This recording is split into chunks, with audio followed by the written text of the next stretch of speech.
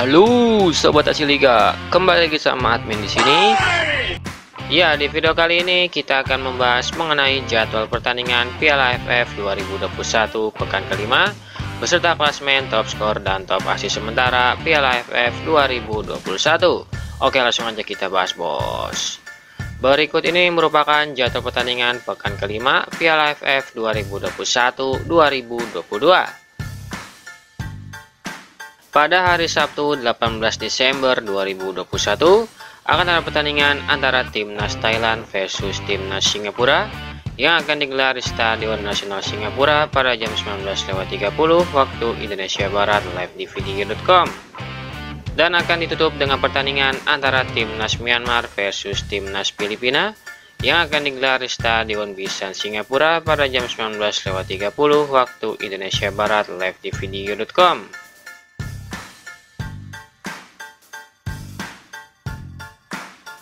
Dan yang terakhir pada hari Minggu 19 Desember 2021 akan ada pertandingan antara timnas Malaysia versus timnas Indonesia yang akan digelar di Stadion Nasional Singapura pada jam 19.15 waktu Indonesia Barat live di RCTI, News TV, dan video.com dan akan ditutup dengan pertandingan antara timnas Vietnam versus timnas Kamboja yang akan digelar di Stadion Bisan Singapura pada jam 19.30 waktu Indonesia Barat live di video.com.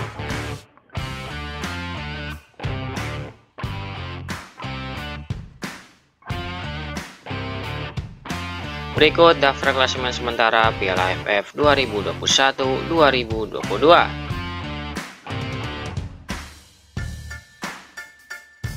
Untuk grup A di peringkat pertama ada timnas Thailand dengan torehan 9 poin. Di peringkat kedua ada timnas Singapura dengan torehan 9 poin. Dan di peringkat ketiga ada timnas Filipina dengan torehan 3 poin.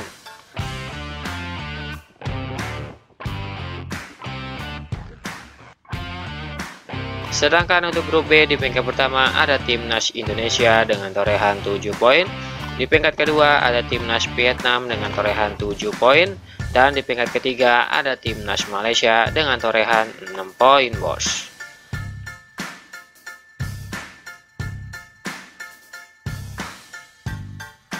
Berikut daftar top skor sementara Piala AFF 2021-2022.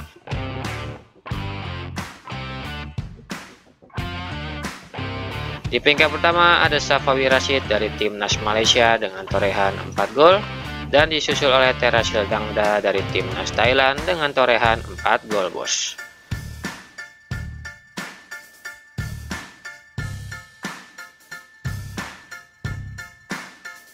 Berikut daftar top sementara Piala AFF 2021-2022.